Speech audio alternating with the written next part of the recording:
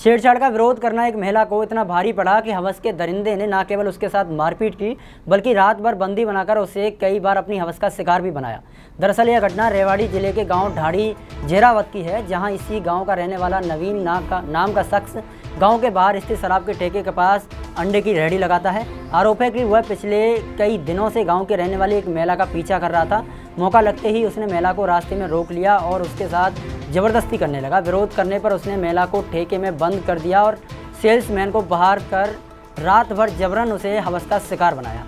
सुबह जैसे तैसे पीड़िता ने वहाँ से निकलकर अपनी जान बचाई, लेकिन घर पहुँचने के बाद आरोपी ने उसका पीछा नहीं छोड़ा और परिजनों के साथ मिलकर पीड़िता की जमकर पिटाई की। पीड़िता ने जब परिजनों को आपबीती बताई तो उन्होंने तुरंत पुलिस को सूचित किया और उसे अस्पताल में भर्ती कराया गया। इस मारपीट के दौरान आरोपी को भी गंभीर चोटें आई हैं और वह भी अस्पताल में उपचाराधीन है।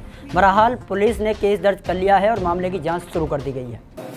ये सर बस ऐसे ही हो गया था वो रखी थी एक दिन बस। हाँ। पास थी वो। मैंने कुछ दारू पी ली थी बस। कुछ नहीं मैं जा रही थी अपना पियर जा रही थी सर। पैदल पैदल जा रही गाँव में बस नहीं आती। पैदल पैदल जा रही थी बड़ा मंदिर आता है हमारे गाँव के बीच में वहाँ पे जाके खड़ी थी मैं। वहाँ से फिर मतलब ये गाड़ी लेके पीछे पीछे आया था नवीन। अच्छा।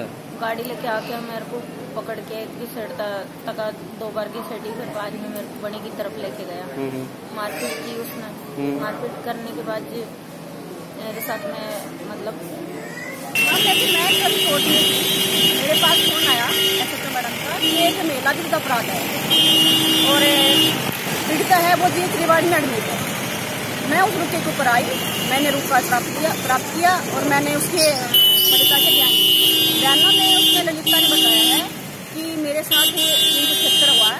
रेप हुआ पहले तो मैंने रेप करने के बाद मेरे साथ जिसने रेप किया है, उस आरोपी गरवाड़ में हाथ मारी पाई अच्छा तो किन धारा मामला दर्ज किया है?